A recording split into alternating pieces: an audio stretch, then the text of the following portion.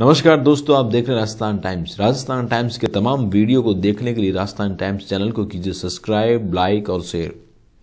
राजनीति क्या क्या नहीं करवाती है? जिस आरटीआई का सहारा लेकर भ्रष्ट अफसरों पर नकेल कसी जाती थी, आज उसी आरटीआई का सहारा चुनाव में विपक्षी पार्टियाँ या फिर सत्ताधारी पार्टियों को घेरने में किया जा रहा है।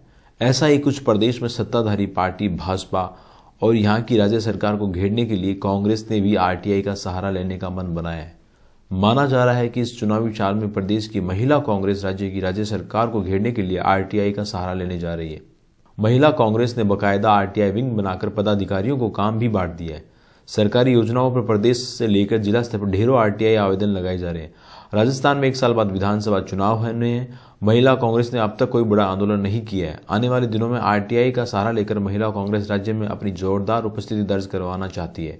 इसी के माध्यम से वह सरकार की पोल खोलकर आम जनता में अपनी पैठ बनाना चाहती है, ताकि आने वाले चुनाव में टिकट के लिए उनकी दावेदारी भी मज़बूत हो।